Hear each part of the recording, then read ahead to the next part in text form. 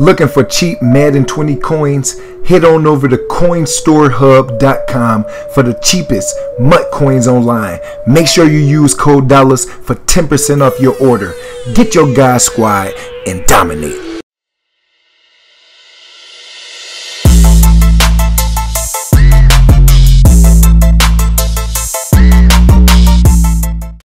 What's up gamers? Welcome back to another Madden 20 video. Today we are one game from the Super Bowl facing my opponent who has the Cowboys uniform and he's trying to mix in the run, the re-option and y'all know my defense is always always locked down as we are sending pressure off the left side. The blitzes in disguises. Just like I've been telling y'all since the game has released, you able to get blitzes from the left side. You able to disguise your pressure and play great coverage. As you can see on the fourth and 21, my opponent tries the playmaker down the field. He has to throw the ball shorter than the first down marker.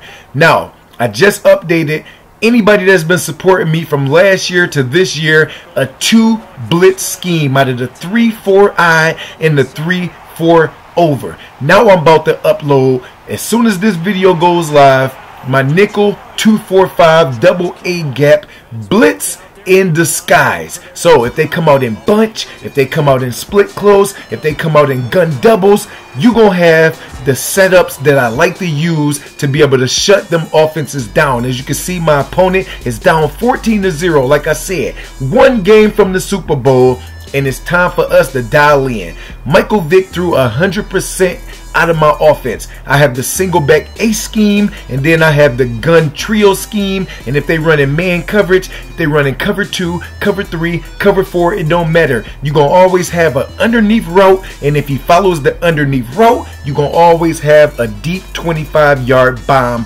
in my offensive ebook. The link in the description has everything. Like I said, my Nickel 245 should be updated to all my supporters by time this video goes live. Y'all should be able to mix in the 3-4-I, 3-4 over, and the nickel double A gap setups.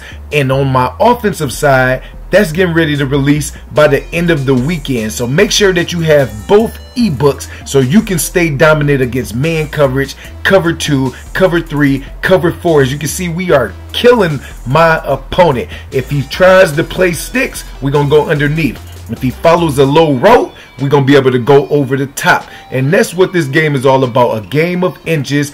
Don't take sacks throw 10 for 10, 15 for 15, 20 for 20, plus be able to mix in the run and get yourself 80 to 90 or 100 yards every game. Like I said, follow the underneath route and I'm going to be able to burn you over the top for a tutty tutty. Be able to get your weekend league max rewards and season rewards. Make sure you follow the link in the description. I appreciate y'all. Let's get, get, get it.